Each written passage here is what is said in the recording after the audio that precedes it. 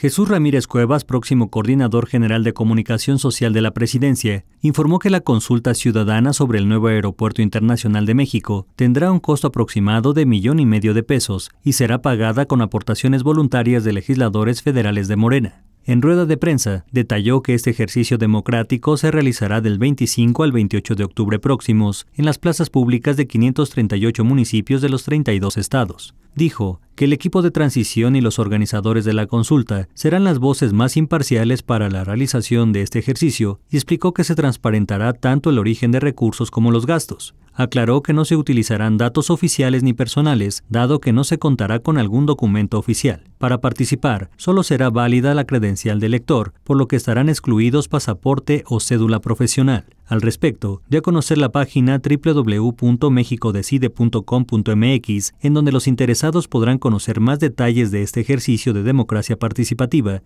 y añadió que la convocatoria es abierta para toda la ciudadanía. Notimex.